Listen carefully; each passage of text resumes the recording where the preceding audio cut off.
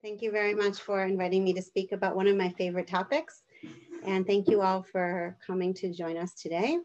I'm just going to share the um, presentation so we can all see what I'm talking about. There it is. And now it's presented nicely. Well, let's dive right in to the Haggadah. So in our Seder, as we um, celebrate it today, most, uh, most widely, there are several layers of time and history and celebration going on at once. And we start from, you know, the biblical events of uh, that predate the slavery uh, in Egypt and all kinds of stories that are kind of leading up to and that we mention. And then we have the story of Egypt and then how it was celebrated um, when there was a temple, you know, the korban that was uh, the sacrifice of the lamb that was brought the, the day before and eaten together in family ceremonies. Then we move to contemporary Pesach, how it was celebrated since they stopped um, bringing the korban for the uh, holiday. And through most of the exile and different uh, periods in, in history, a lot of things happened, but the Pesach Seder stayed pretty much the same um, for uh, several good, you know, thousand something years. And, but every um, Pesach, we also look forward towards the future, towards a different kind of um, Pesach. Every community where it's at in, in its point in time in history will think, conceptualize that future redemption of Passover in a different way.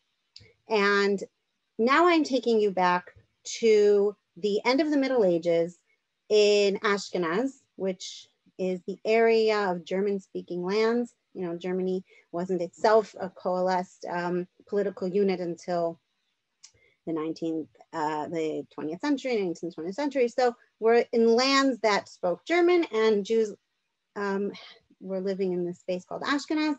And in this galut, in this diaspora of um, medieval and early modern Ashkenaz, this wonderful um, guest started to appear at the Seder. And I would like to take you on this journey of how different elements came together and thing and and different um, different minhagim, different rituals came together and all became associated with Elijah the prophet. And why? Why is he the one chosen to come and join us every year at our seder or seders? Sometimes we have two. Okay, so we have three main parts, uh, three main rituals that came together to create this um, ritual of hosting Eliyahu with the Seder. We open the door, we say Chamatcha, it's a series of verses, four verses um, that we will see soon, and there is a cup of wine. Now, each one of these elements had a independent development. They um, were each one of them can be traced in different ways, and we're going to go through them quickly. But they're each they're subject of their own inquiry, and then we'll see how they were all pulled together. We're going to start with the door, opening the door. Why are we doing this? So one idea is that you open your door when you feel sure of yourself. When you feel protected and you feel safe, you do not hide behind a closed door. And uh, maybe some of us can um, relate to this feeling from of the past year. How much was our door opened or shut as opposed to other years in our interactions, um, our everyday interactions of uh, in our neighborhoods and around our homes or our offices. But Passover night is supposed to be a night where we are protected. It is a special night the, since it was the night that was leaving Egypt. It is a night that is called Leil Shimurim, Shamur. It's also in, in English, it's translated as a night of vigil, of keeping up and keeping watch. But the Hebrew language gives us a lot of room for interpretation. And it's also shamur as to protect, but and also mishumar, it's saved. You know, like a can of, of, um, of food is a kufsat shimurim, it's being preserved. Where is it preserved? From the, the Gemara in Rosh Hashanah tells us, Rabbi Yoshua tells us that this night was preserved from the six days of creation. So it is a special night um, set out on the calendar since the days of creation that on this night, the fifth, the night of the 15th day of Nisan will be a night of redemption. And the first time it happens is, um, well, the, the biggest event that it happens is coming out of Egypt, the redemption from Egypt. But there are different midrashic um, stories about it happened this night being special for redemption along different uh, time points in history. One very nice um, uh, poem that, that uh, explores different times that this night um, was Night of Redemption is um, one of the, uh, the poems that we say at the end of the Seder, V'amartem Zevach Pesach and Vayhi B'chatzi Halayla. They uh, explain other times that redemptions happened around the time of Passover or in the middle of the night. And so we have this idea that this night retains its essence of vigil and this essence that God looks to protect his people on this night. And following from the verse in Shemot and also in um, the Gemara in Rosh Hashanah that discusses the night. And then we see what, what is done, what action is done to show this um, understanding of the night. Okay, so the idea is it is a night of vigil. God is watching over and preserving um, the um, preserving the safety of the Jewish people on this night. So how do you show this? By opening the door. And the Or Zarua, living in Vienna in the end of the 12th and beginning of the 13th century, writes, I have read in Rav Nisim Gaon. So here we see an idea that's traveling throughout the Jewish diaspora coming from North Africa in the 10th and 11th century up through uh, the migration of Jewish scholars and manuscripts and um, reaching, you know, Vienna, which is uh, an eastern frontier of Jewish settlement at the time. And he says, in the name of Rav Nisim Gaon, it is written in the name of his father. Okay, so we have here kind of the idea of Passover, of ideas that go from father to son of how to um, make, how this night is supposed to um, encapsulate the ideas and how our actions bring forth what we want to uh, preserve from generation to generation. So Rav Nisim Gaon is writing what his father taught him, and Or Zarua, Rabbi Yitzchak of, of Vienna, is bringing it down. Not to lock the doors of the house on Passover night, because this shows faith in the word of God and his promise. By the merit of our faith, we will be rewarded redemption. And you find that our forefathers were redeemed from Egypt because of faith. And it says, and the people believed. So here we have an action. Leaving the doors open symbolizes that we believe this is, in fact, a night of vigil. This is, in fact, an opportunity for redemption. And by leaving the door open, we are showing that we are ready for that redemption. So we have a relationship here, a dialogue about um, between the people and God, saying, Here, we know, we remember, we believe. Now you see that we're serious. You see that we haven't forgotten don't forget us as well. This is the time. We're ready and waiting. And in merit, this is a, a merit, the faith itself and showing in action of opening the door, the faith will bring about and initiates a the process of redemption to begin happening. Now we're going to take it one step further and we are going to go about 200, 250 years in the future to Rabbi Israel Bruna, the chief rabbi of Regensburg, who is quoting from the Or Zarua. And he already places the opening of the door in a specific time. The Or Zarua only said that we do leave that we do not lock the doors at night. Now this could be understood in different ways. It could be opening the door in the beginning of the night. It could be leaving the doors unlocked throughout the night, even when you go to sleep. It's not tied down to a specific time during the Seder.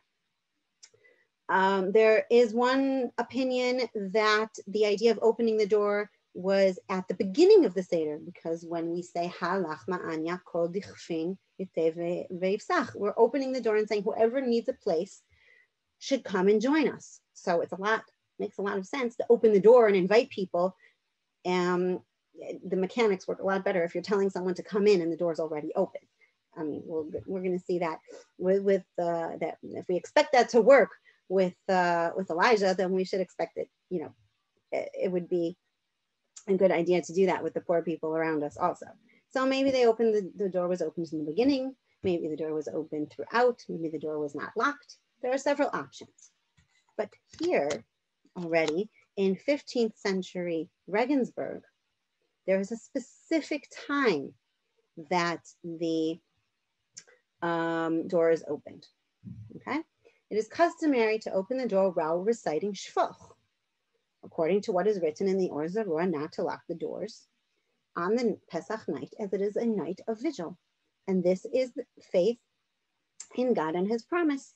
And by the merit of his promise, we will be redeemed. And for this we open the door at Shvoch, that is, by this it is worthy for the arrival of Messiah. So here we are already going a step forward. We have connected opening the door to the recitation of certain verses, and it is connected not only to the general idea of redemption, that God will redeem, but also to waiting for a specific redeemer. We want Mashiach to come to us. That will be the beginning of the redemption.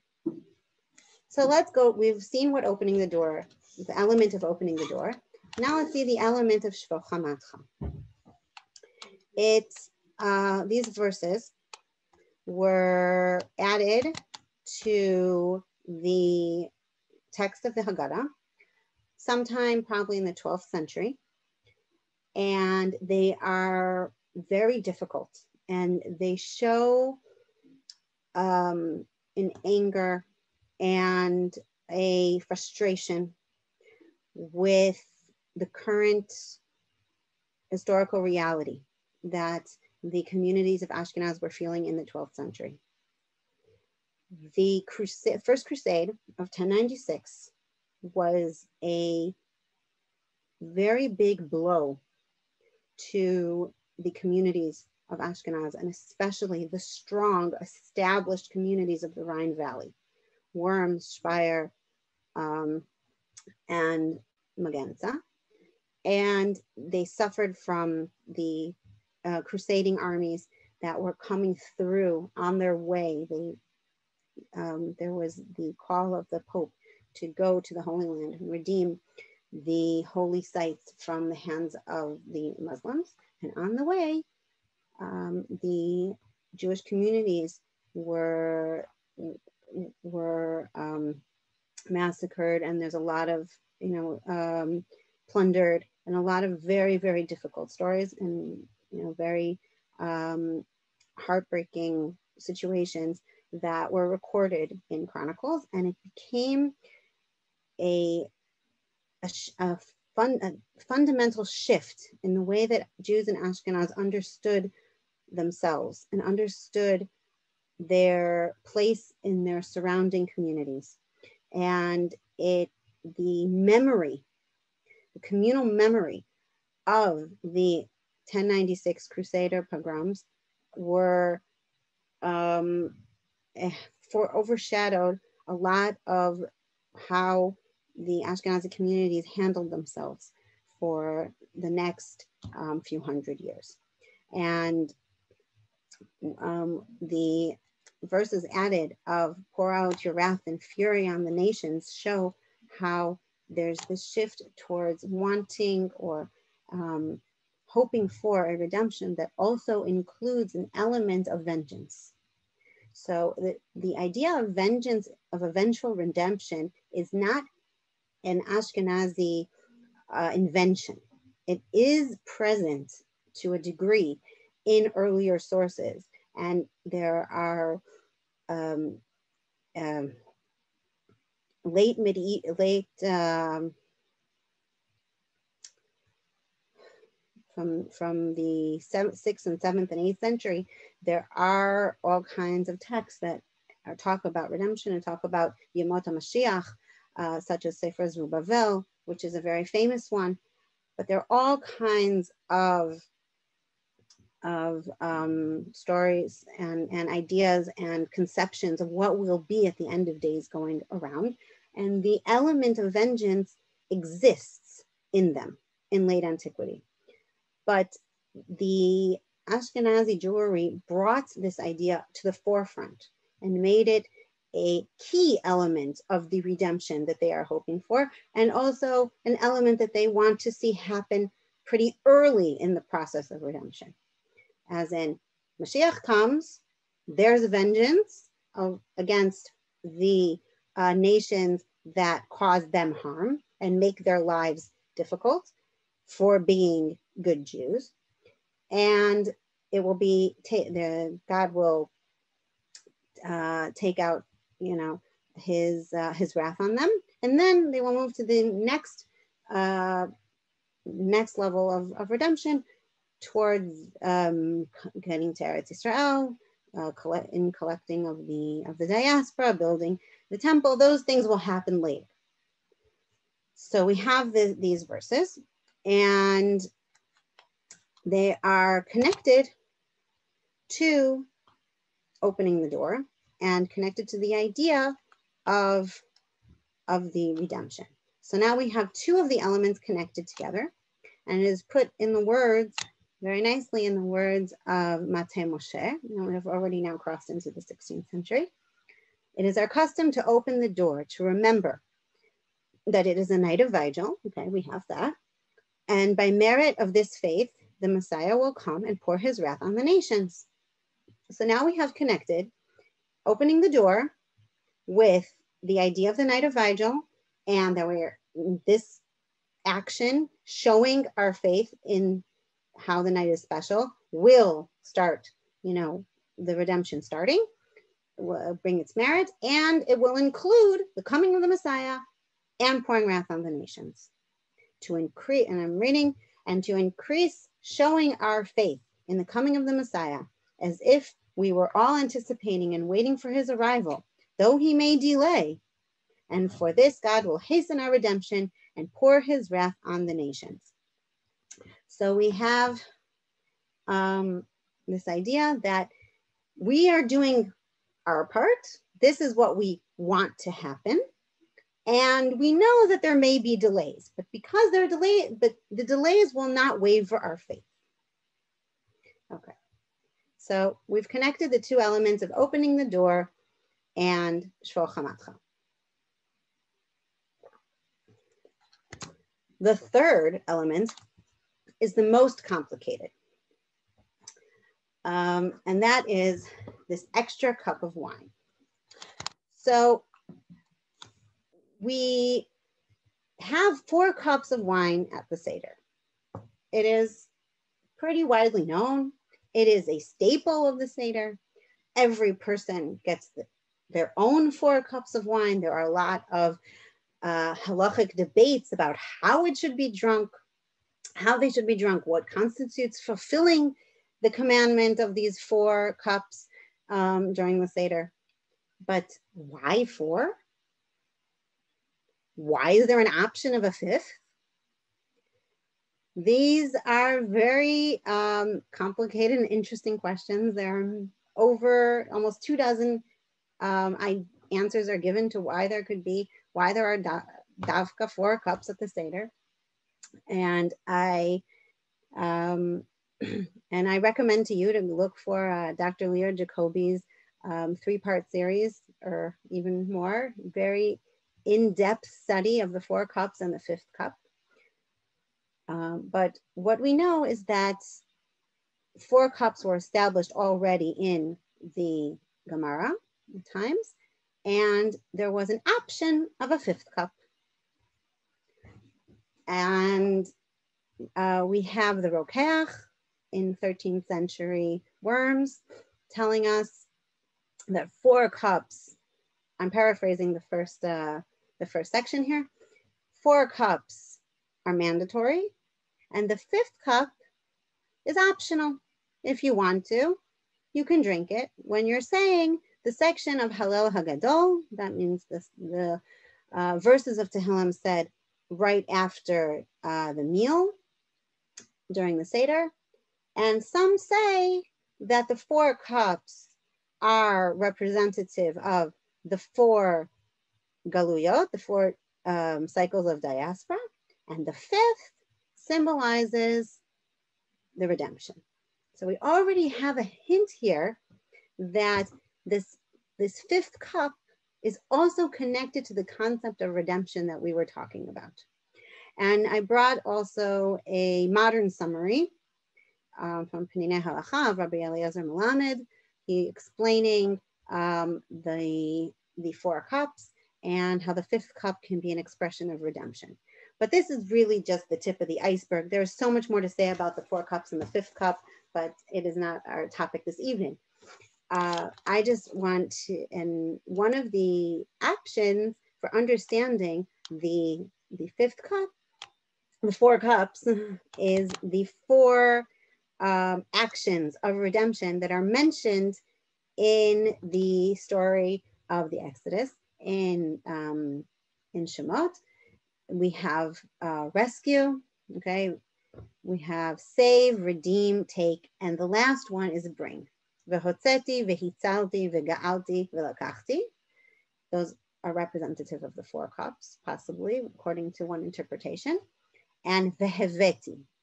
And because heveti is bringing to the land, and that did not happen as part of the Exodus, the first four actions um, were carried out to take um, Israel out of Egypt. But the fifth one was a promise for the future. And therefore also the four cups, the four that were uh, part, an integral part of the Exodus are drunken at, are drunk during the Seder. And the fifth one that is um, a promise for the future is left and it isn't to be drunk. Now, the cup itself of wine is a symbol of redemption.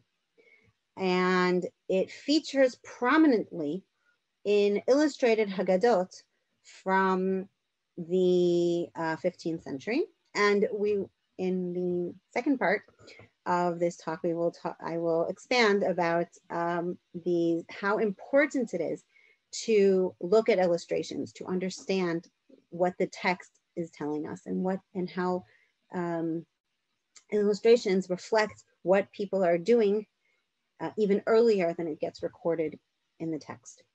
So we have this cup that is central, a chalice that is also a sign of redemption and a promise that um, and a symbol. So all three of these elements independently come together.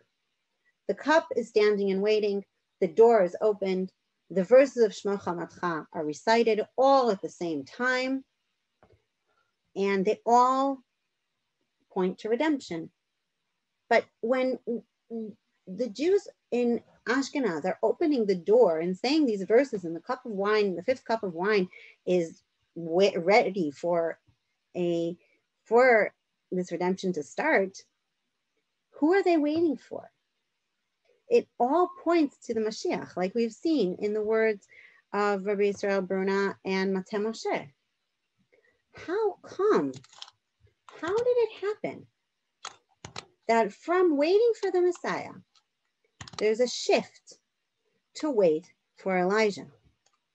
What is so special about Elijah that he seems to overshadow the Mashiach? So for that, we have to backtrack a little bit. Mashiach um, needs a mivasil, and that job of harbinger is given to Elijah. And the um, the basic text that is pointed to over and over and over again are the verses from the last chapter of Malachi that actually are the last verses of the section of Nevi'im, Nevi'im of the uh, prophets in Tanakh. Okay, so we have this idea that this Eliyahu Hanavi is mentioned. Almost all the commentaries say that it is the same Hanavi is Eliyahu Hanavi from the book of Kings. There are very few that say it is someone else. And he is supposed to come in anticipation of the redemption. And um, it's it it became a very fundamental and widespread idea that before the redemption, there will be Elijah coming to announce it. So we have that somehow this extra cup shifted and became associated with the cup of Elijah. Now, one uh, widely uh, circulated explanation is that because the uh, Gemara didn't know if there should be four cups or five cups, and when there is a um, debate that they don't know how to decide, they put it on, they put it, you know, on the shelf and Elijah will, until Elijah comes and will tell them the answer. And so we pour the fifth cup, but don't drink it. That is a very nice idea, but it is a modern idea that was suggested in the 20th century.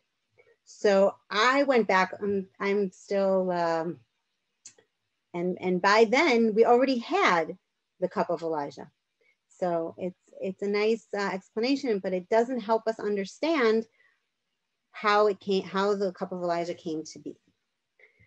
Um, and we find in 17th century Worms, the Shamish of the community writes down a lot of the customs of the community. And he also writes that we're used to, um, we're used to speaking, uh, we're used in, in our community, we prepare the cups, one more than the amount of people. And because we want guests to come, we want to be ready for someone to drop by so we set an extra place and everyone needs four cups. So we make an extra cup and we call it the cup of, of Eliyahu Hanavi because he is the guest that we want most of all. And also um, the spirit, the problematic elements who can harm, the harmful uh, elements that can bother us run away when we say Elijah's name. So here we already have the connection to the night of vigil that the harmful elements can't bother, you know, the people, the, the, the people of God who are protected on this night.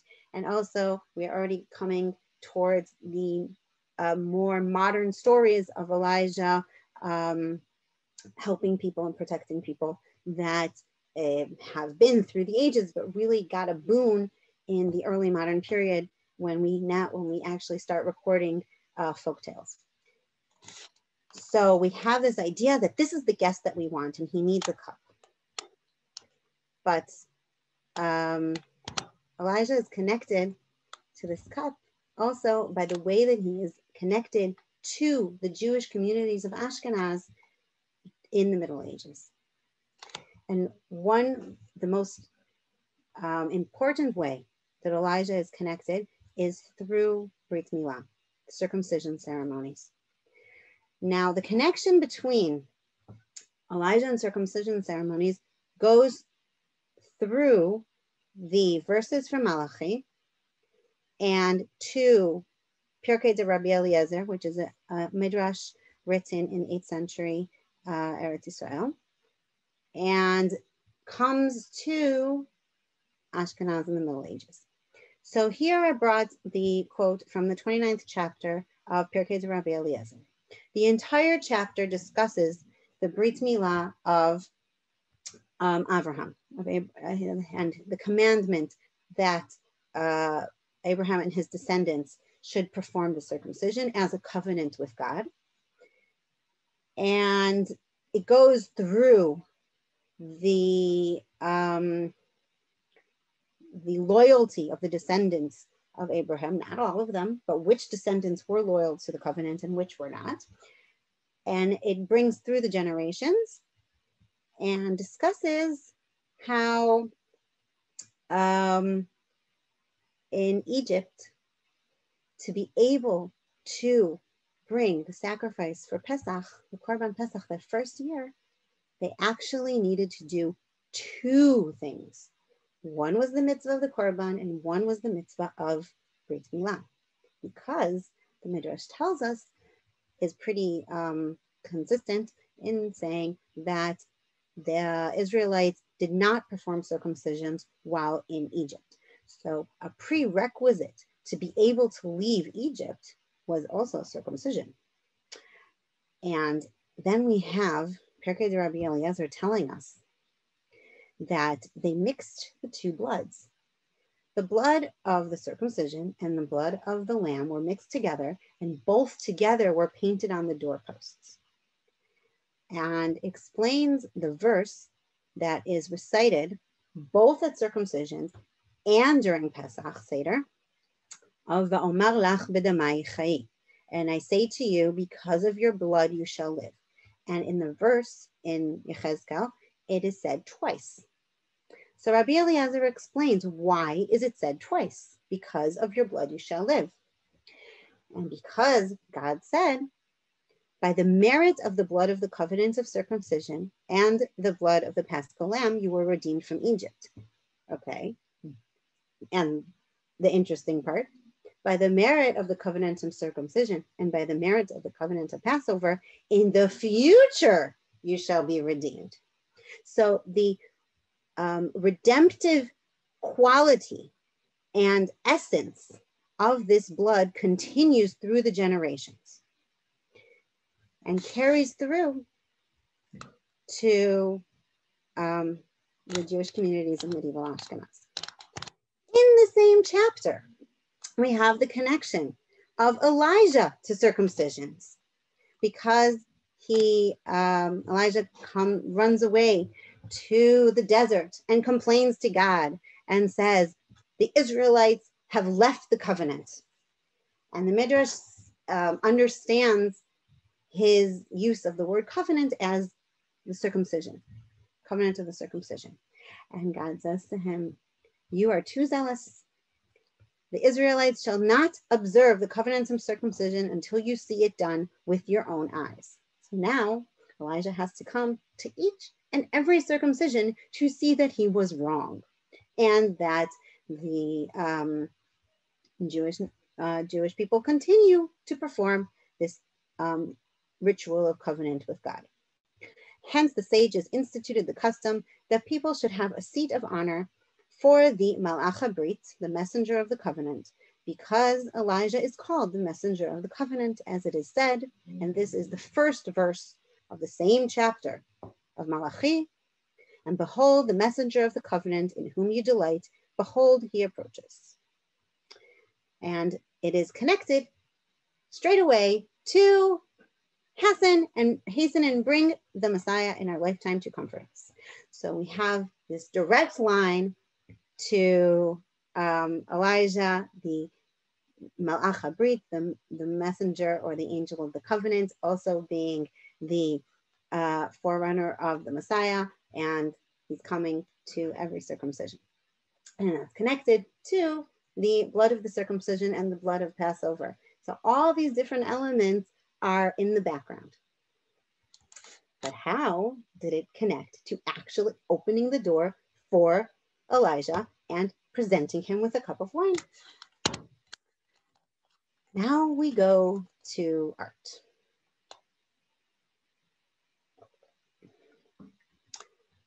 Um, illustrated Haggadot from the 15th century are full of details about how the um, communities who created these Haggadot and purchased them, uh, how they saw themselves, how they understood um, the rituals, how they read the Bible and Midrash, and how um, they envisioned redemption.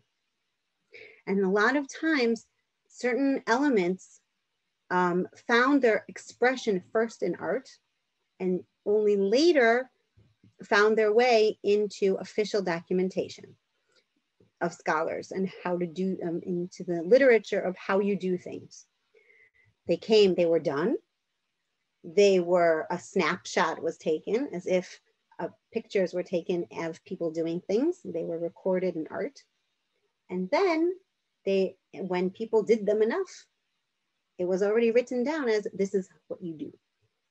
So in terms of looking at pictures of redemption, from very early on, this very special Haggadah um, called the Bird's Head Haggadah or the Griffin Head Haggadah, according to Marc Michael Epstein.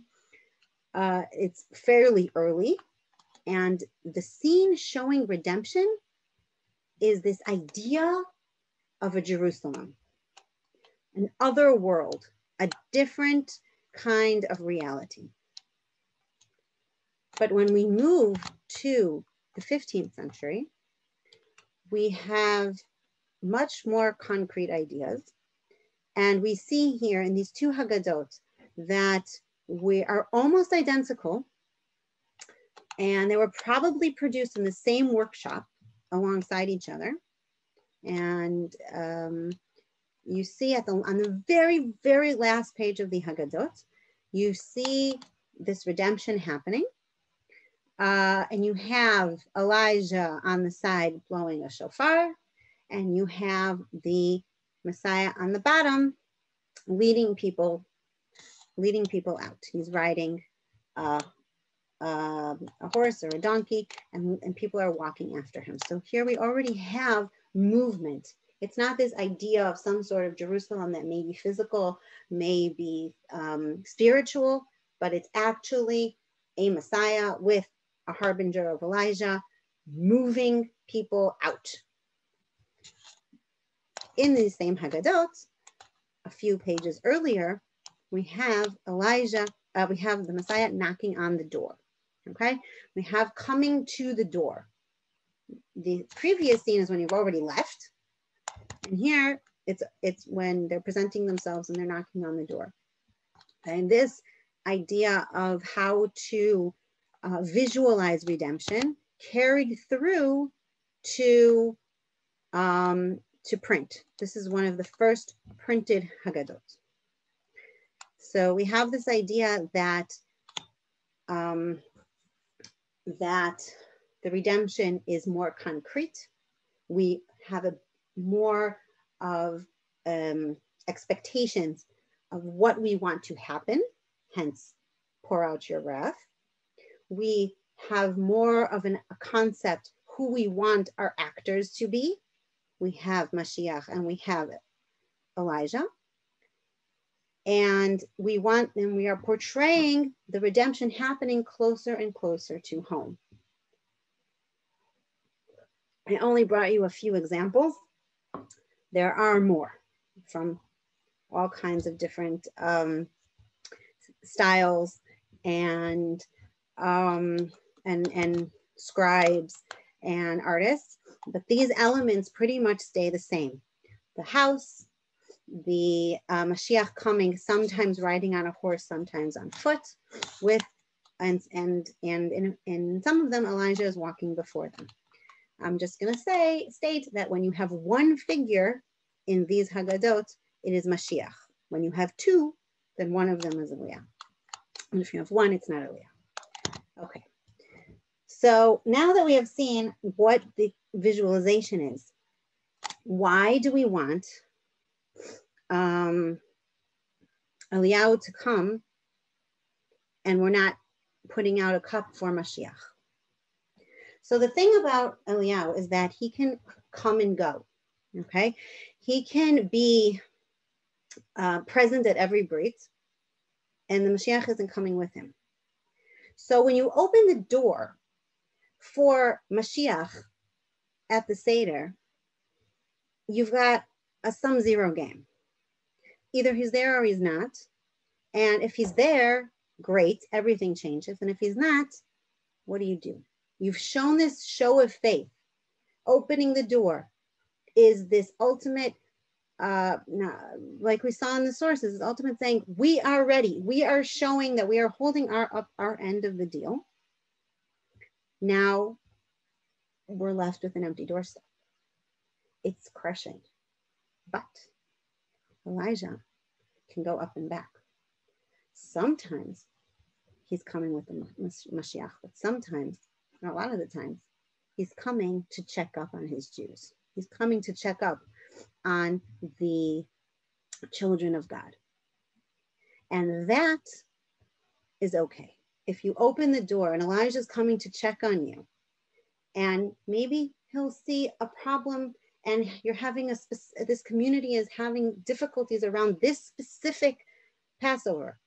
And maybe some influence from Elijah will make things better. So it is um, it is helpful that even if the Mashiach isn't coming on his heels, that, that Elijah himself will come. Now, this idea of Elijah checking up is also um, portrayed in his um, character as a dog. And where does this come from? So you see in one of these uh, illustrations, you see the donkey coming in, and we know that the donkey is, you know, chamoro shel Mashiach, this idea that the don- that the Mashiach will come in riding on a donkey, and then there's a, a dog standing behind the the um, youth who's opening the door, and I was thinking, where does this dog come from? And it's not the only one. I found at least um, four examples of this dog there during opening the door for Elijah. And then I found that in already in the Talmud, our, our rabbis teach that when dogs frolic, it is a sign that Elijah the prophet has come to town. And I dug and dug and dug, and I found all these connections between dogs and Elijah.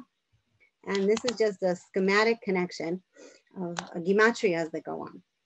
But what is Elijah's role? What is it no, no, no. So he so he has the same connection to a dog. What does it help us with opening the door and wanting there to be someone on the doorstep? So here's his role as the guard dog of Israel. And here um, you have a picture that is from a um, a guide to a hunt. Okay, this idea that the dogs go with the nobleman on a hunt. And here you have the Messiah as the nobleman okay he's he's he's the leader he's this wonderful noble figure who is leading his um, his people and the people he's responsible for out of Egypt. And Elijah is calling in front of him. And he is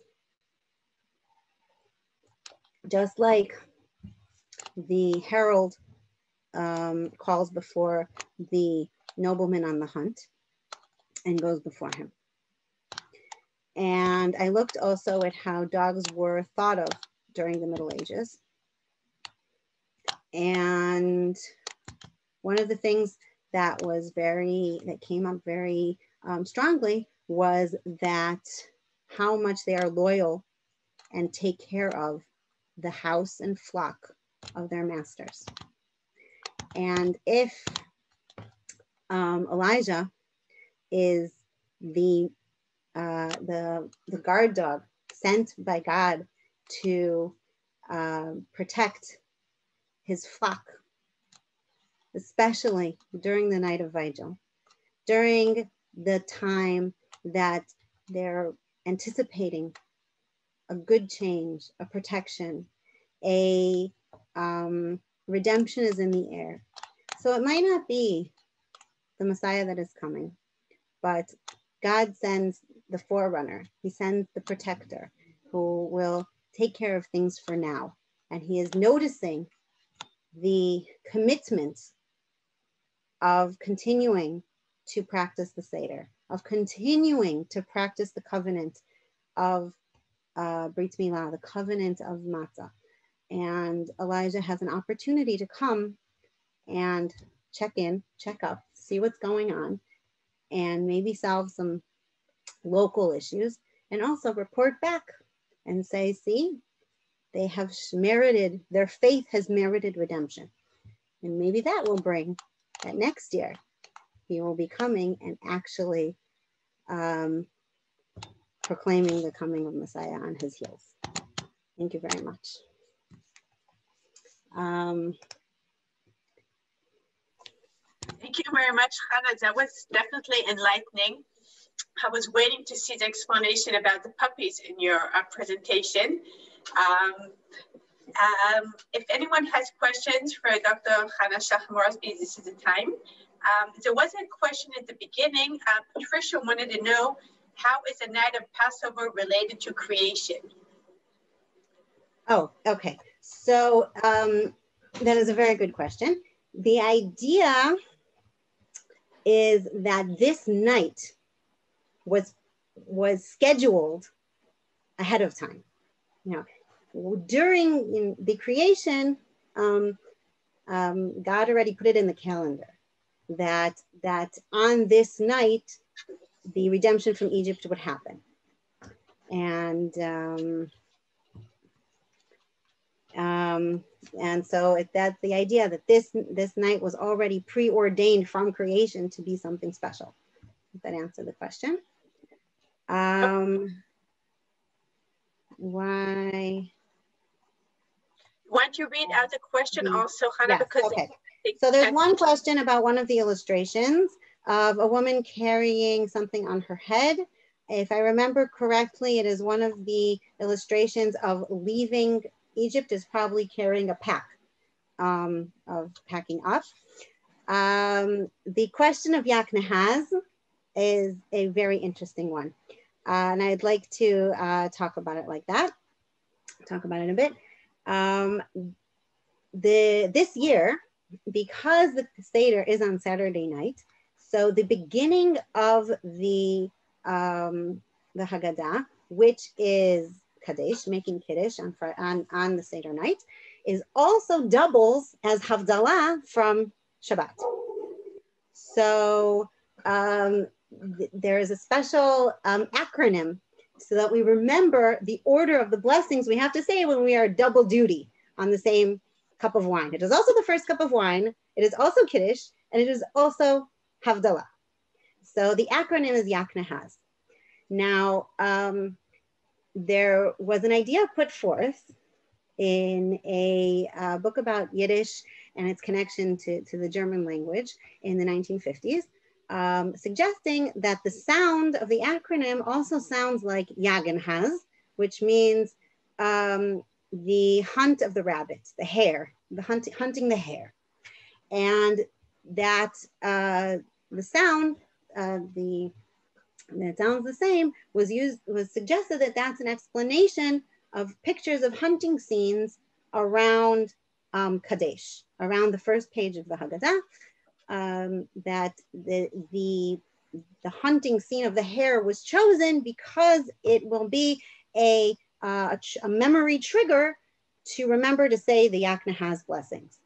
Um, however, this uh, hunting scene appears in other places. It is a decorative scene from Christian art and from Jewish art. This is just, you know, a, um, a model that's used for decoration.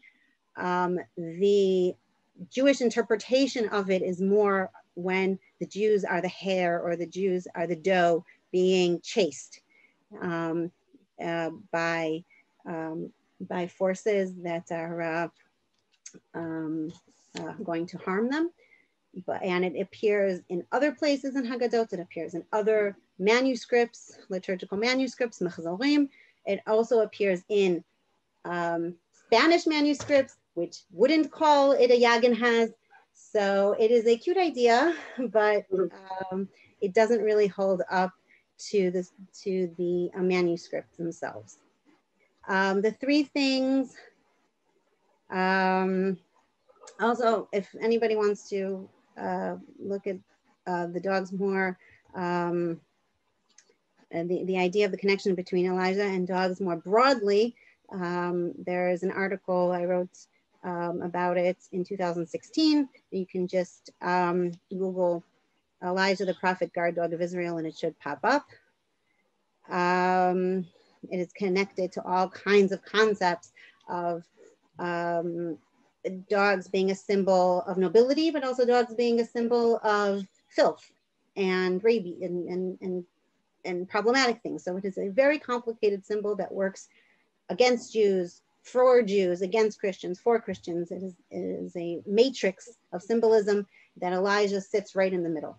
So um, we can talk about that a different time.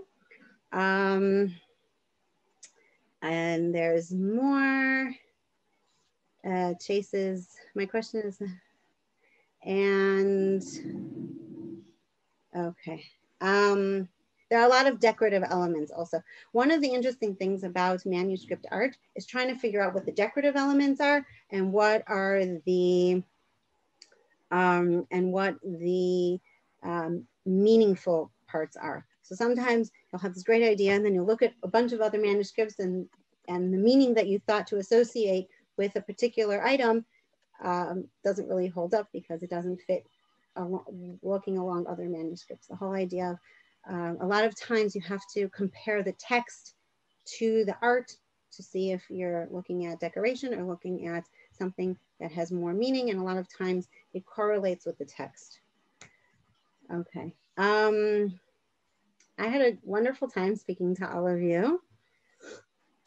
Thank you very much for preparing us for uh, for our guest.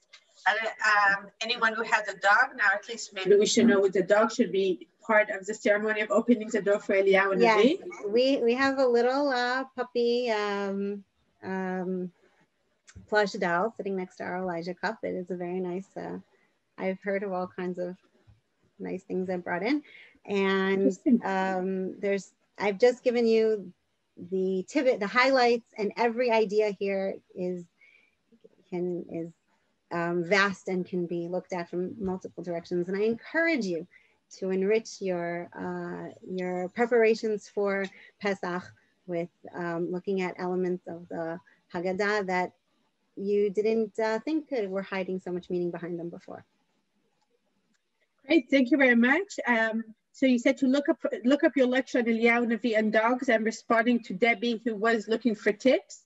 So um, any notes? Um, well, uh, I, there's um, very interesting things on the Beit Avichai website that I saw popping up. Um, uh, so, um, I have an article on Segula Magazine's website that popped up. Um, there's uh, the fifth cup, the fourth cup and the fifth cup is uh, Dr. Uh, Leor Jacobi. Um, uh, there is a video from the, um, there's, there's things from the National Library and from the Israel Museum about different kinds of Haggadot. So there's lots and lots of content and you can take an hour while uh, you're resting from cleaning and, and look, look things up.